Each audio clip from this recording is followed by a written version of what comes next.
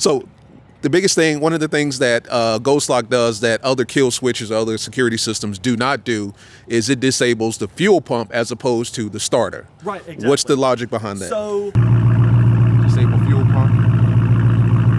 Success command sent.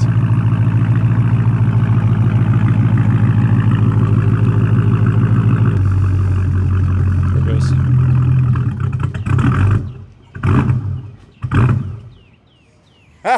She tried. She tried. She tried. All right, guys, we're up here at mass acceleration. That's right, mass acceleration. This is probably one of the best automotive uh, uh, tuning, um, high performance shops in North Carolina. Like I've heard so many people coming up here. Shout out to my man SRT Little. He came up here and got his Charger Scat Pack taken care of. So today we're talking about security, right? Installing Ghost Lock. And we got the guys over there working on another Challenger as we speak. We're about to meet Tracy and Keegan. They're the ones that's going to install Ghost Lock, and I'll have them explain exactly what it is, and we'll go from there. How you doing? Doing good, man. How about All right, so who do we have here, man? So, my name's Keegan. Yes. Nice to meet you.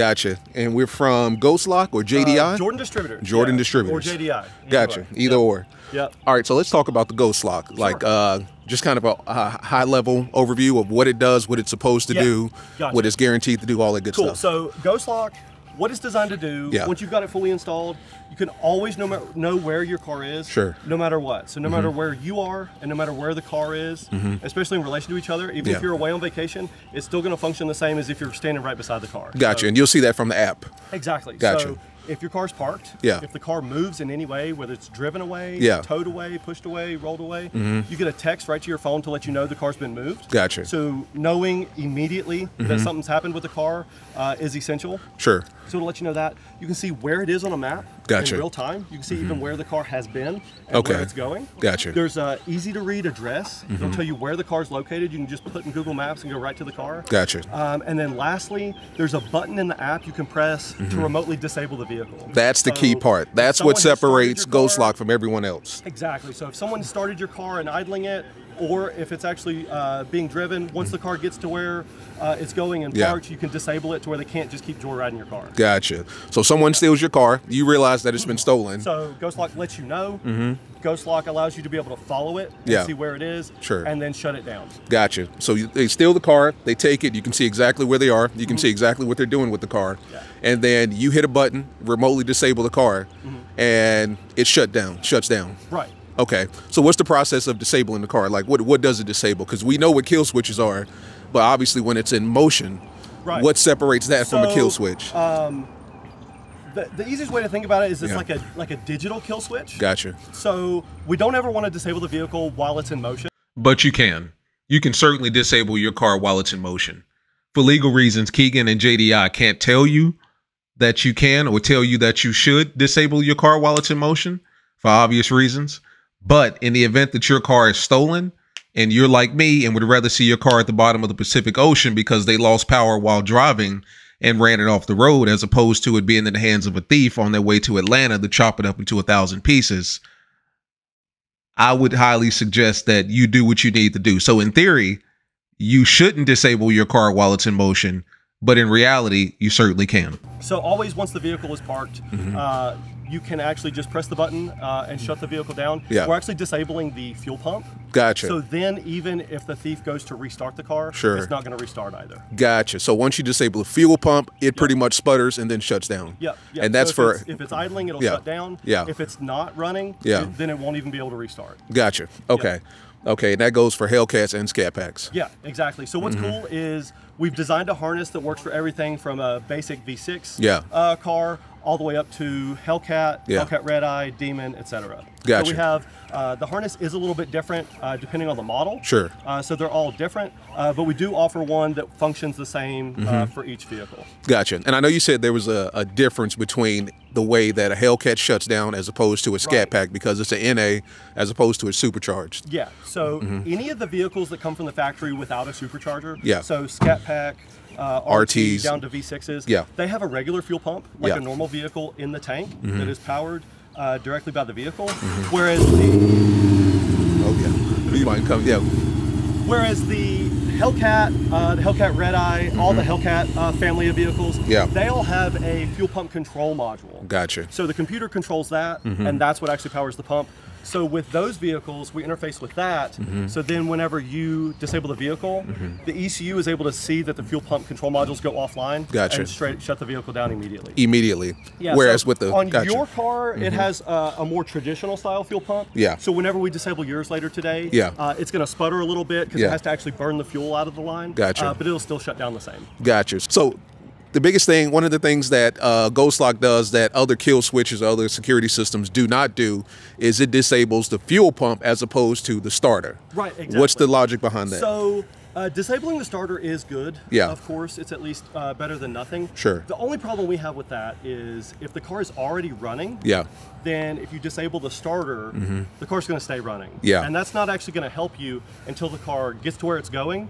And then uh, turns shuts off, and it won't be able to turn- yeah. It'll stay running, and there's no telling how far of a distance that car's going to drive Exactly. before it's turned off again. Yeah. So what we've decided to do with Ghost Lock is actually uh, disable the fuel pump. Gotcha. So then, even if the car's actually started sitting Yeah. here idling, if I disable it, the car's going to shut off right here in this parking spot Yeah. and not even make it out of the parking lot. Not even make it out. Yeah. That makes perfect sense. So, for instance, if you're at the gas station and you run in there real quickly and somebody hops in behind you and you leave your car running The with the starter, exhaust, yeah, and you disable it, they're not even going to leave the pump. they're not even going to leave the pump. As opposed to a starter kill switch, they would be able to take off Yeah, until so- they shut the car down Yeah, and then try to restart switch, it. You hear it start. Yeah. You go ahead and disable it. Yeah. They're still going to be able to drive away. They're still going to be able to drive away. Yeah, yeah. So Ghost Lock. Yeah. We came up with the name uh, Lock, obviously to secure your vehicle. Mm-hmm. Uh, but the Ghost is cool because once it's installed, it's like a ghost. You'll never know it's there. Yeah. There's no extra key fob to carry. There's no weird beeps, weird Mm-hmm. noises, weird flashing lights, uh, anything to mount on the dash, weird like an old school alarm back in the day. Uh, so it's truly like a ghost. You'll never know it's there. Mm-hmm. Gotcha. Until, until you need it, of course. Until you need it. Yeah. And then it pops up And like noth- a ghost. Nothing else to carry. Yeah. Uh, it's all just right from your phone. Gotcha. the No phone extra already- key fobs, Already nothing. have in your pocket. Right. Yep. When you sit in the car, you wouldn't even know it was there. Exactly. No Yeah. drilled If- holes, anything like that. If you don't tell your friends you have it, Yeah. they would never know. That's what. That's exactly what a lot of people want. Gotcha. And it gives it actual street address. gives you the street address and show me the Sure. screen with the Sure, remote you ready? disable. Yep. Gotcha. And see, that's what the setup is going to look like there. Yes. You got the option to disable ignition, enable ignition, uh, disable we're just fuel pump. doing fuel pump. We're Yeah. just doing the fuel pump. Those two options at the top don't even Right, matter. two. It's just those two: disable fuel pump and then re-enable re-enable it when it's time.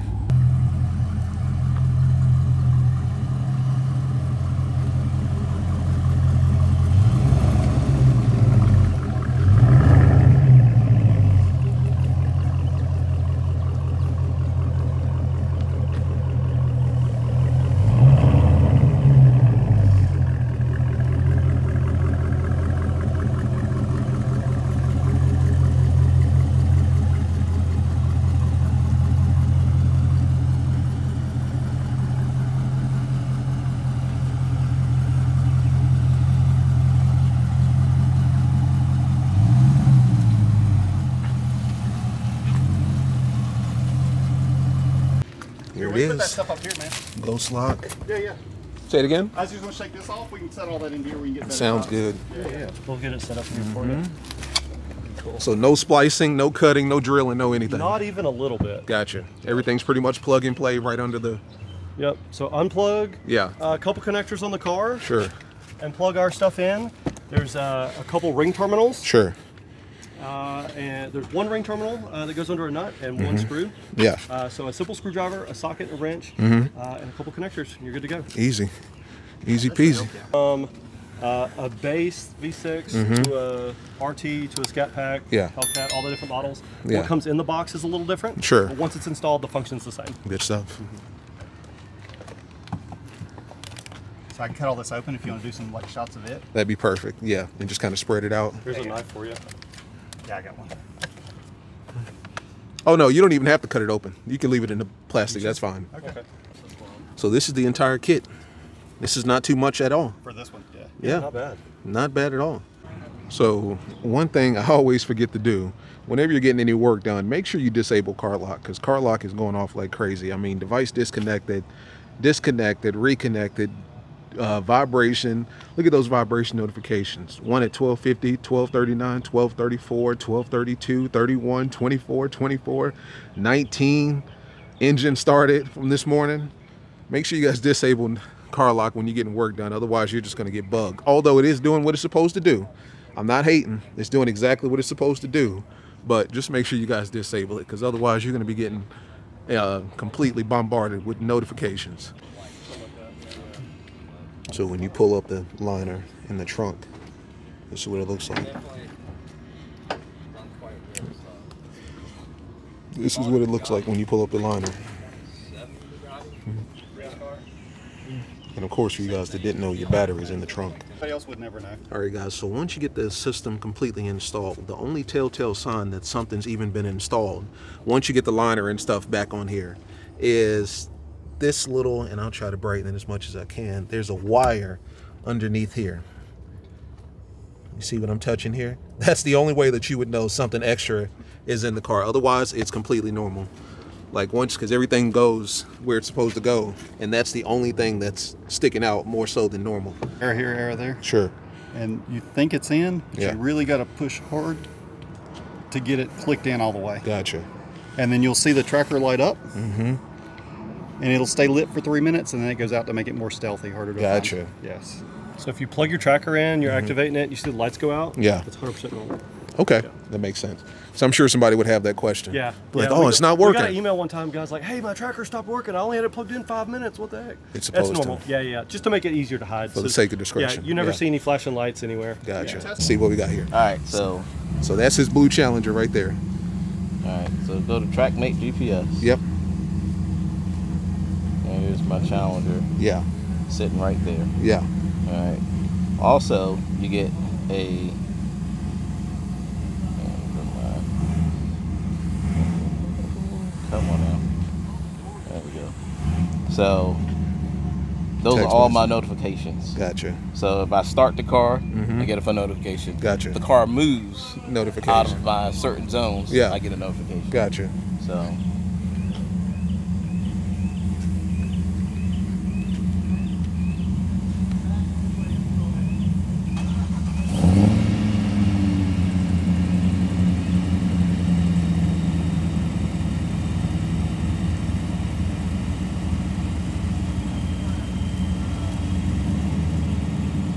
one it also depends on where you're sitting at. True.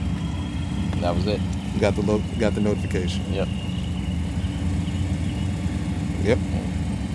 That's not bad. What's that? 20 seconds? Yep. It's not bad. Okay. it even gives Comes you the in. address. Gives you the address. Okay. All right. Let's- mm-hmm. So I just got my notification. Just got the notification. if I wanna Yeah. kill it. Kill it. You hit the enable fuel pump or disable fuel pump? Disable fuel pump. Gotcha.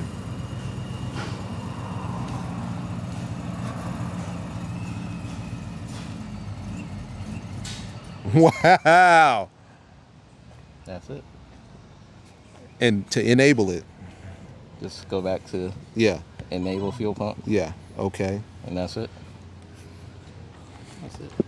I like that. I like that. You heard it choke too a little bit, like Yeah, you know, yeah, you know, yeah. getting Yeah, I that mean, fuel yeah, out the line. basically, Yeah, just like you're running out of fuel. Yep. Dang. that you're getting, it'll be like you turn the switch off, right? Yeah. Good stuff. Yeah. Get everything pretty Gotcha. there.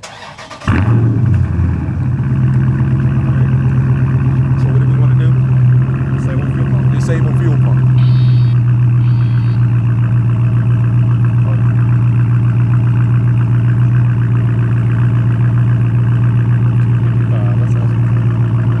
Disable fuel pump. Success command sent.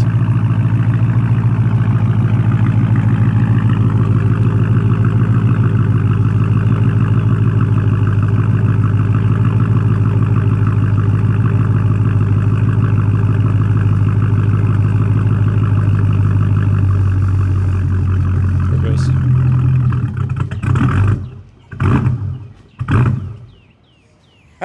She tried. She tried.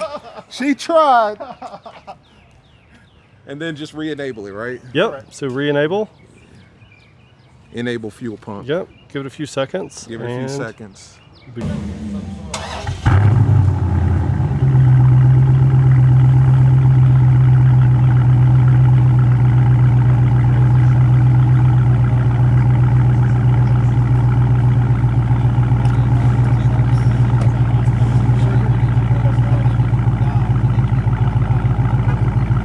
Gotcha. So that's the good thing to know. Um, when you remote start it and you disable it, you said by default it will. Uh, so on the next disable, you're not able to remote start it. You have to get into it manually and start it on the inside. So that's kind of like a, a, a safety measure too. So if your car gets stolen and you disable the fuel pump, they can't just use the key to restart it. So you have to get in there.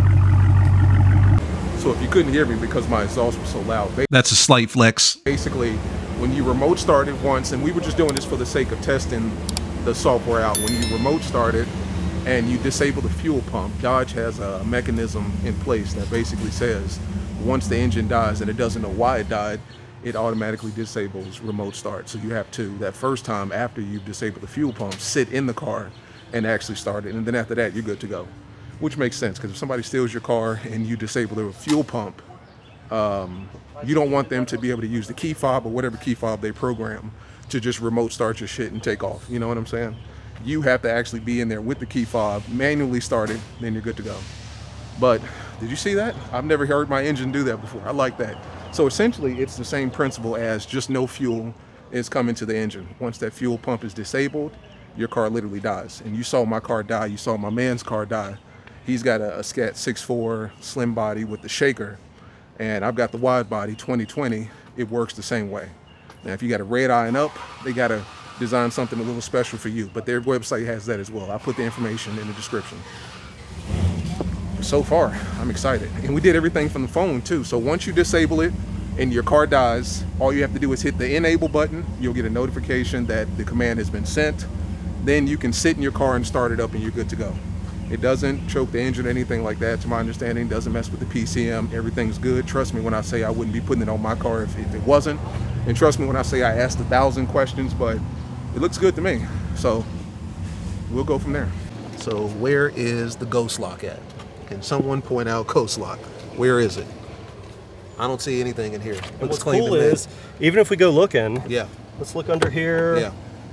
Where the battery is. Yeah. You still don't see it. Where's ghost? Where is it? It's There's a ghost, nothing. man. It's a ghost. It's a ghost. It's nowhere to be found. Ghost lock.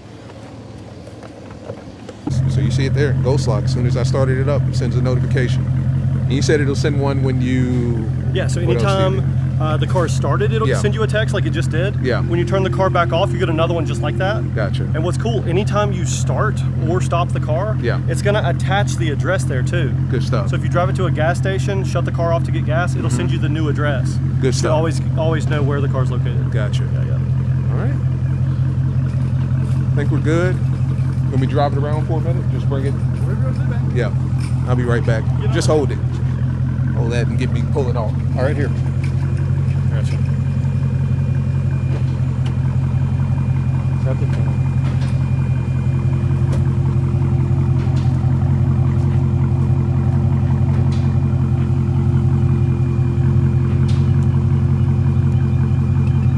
Before y'all get on me, I know that my passenger side exhaust tip has shifted under the body of the car. I know that. And since this video has come out, I've gotten that taken care of and readjusted. So trust me when I say I know it. All right, so save the jokes. Okay, we're good to go.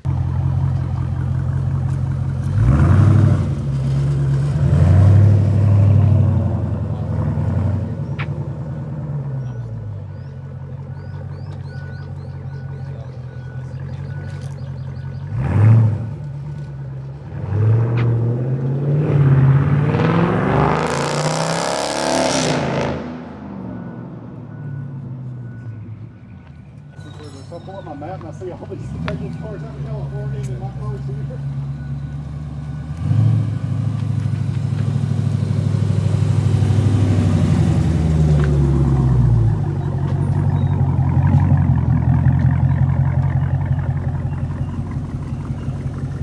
Looks good. Oh, and you get one ignition turned off. As soon as I get out the car. I like that. I like that. turn ignition off. Yeah, okay. Sick. All right, so I just wanted to film this video here from beginning to end, the entire process of starting a car, uh, remote disabling the fuel pump, and then restarting the car. And all of this is done from the app, of course. So check it out.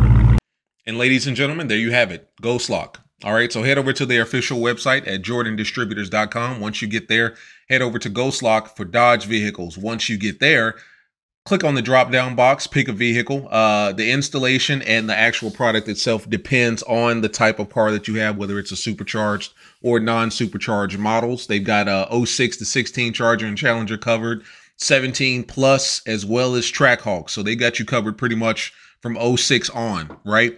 Uh, once you get there, use my discount code knockout360, no space. That's knockout360, no space for an additional $40 off your entire order. That's knockout360, no space for an additional $40 off.